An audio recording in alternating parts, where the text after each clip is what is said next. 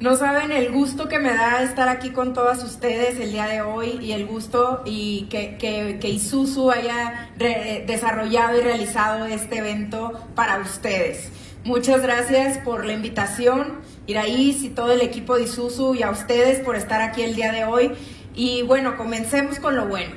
Yo les vengo a platicar un poco de la participación de las mujeres en el autotransporte el, las cifras de, cómo estamos, los, los, retos y un poco de lo que hemos hecho en la red Mujeres Autotransporte y unos consejos que me gustaría darles eh, a ustedes de, en base a mi, a mi experiencia. Primero, ¿qué somos nosotros las mujeres en México? Somos más del 51% de la población.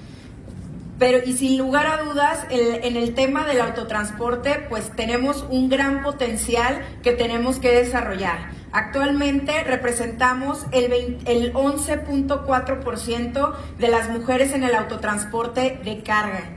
Y en temas de licencias federales del, del, autotransporte les puedo compartir que ya tenemos más de 5.525 licencias de, las cuales eh, más de 4.000, el 79%, son licencias para mujeres en el transporte de carga y alrededor de 21% de estas licencias de las mujeres son de pasaje y turismo. ¿Por qué pongo solo estos tres datos? Porque el mayor reto que tenemos hoy en día es el tema de las cifras. A mí me encantaría saber cuántas mujeres, qué, qué, qué porcentaje representamos de la industria productora de vehículos pesados. Es un reto que tenemos y es, un, es, un, es, una, es una encomienda que tenemos también en la, en la AMPAC de poder tener estas cifras para que ustedes se sientan cómo están representadas y cómo estamos representadas en nuestra industria del autotransporte y de la fabricación de vehículos pesados, que por supuesto Isuzu es una gran parte del eslabón de toda la cadena de valor.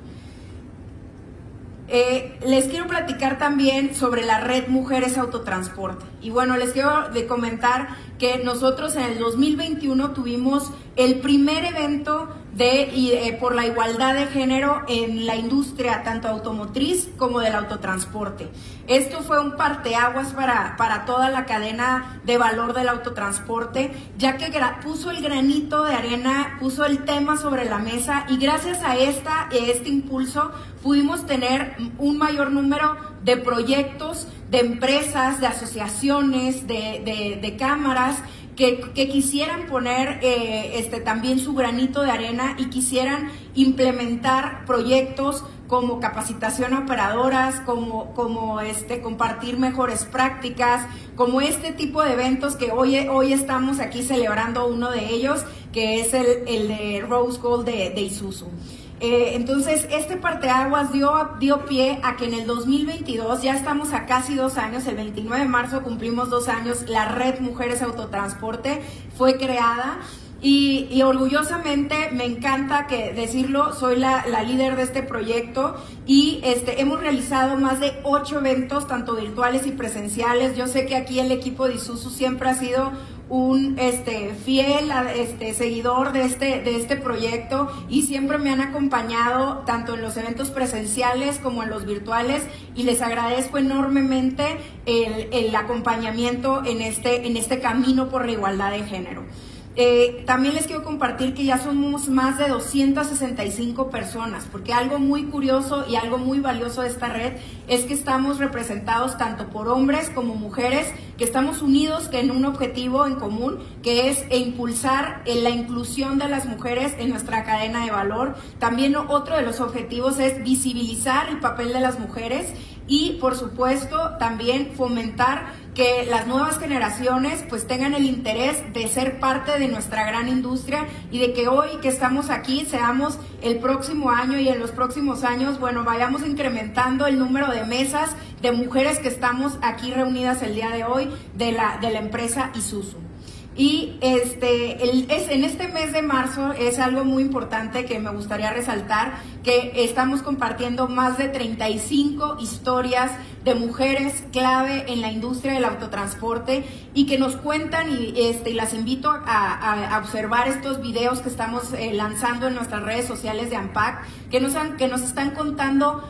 cómo llegaron al autotransporte, sus logros y unos consejos que nos dan a todas nosotras que somos parte de la industria del autotransporte y de las que quieren ser parte de, de nuestra industria. Entonces no se los pueden perder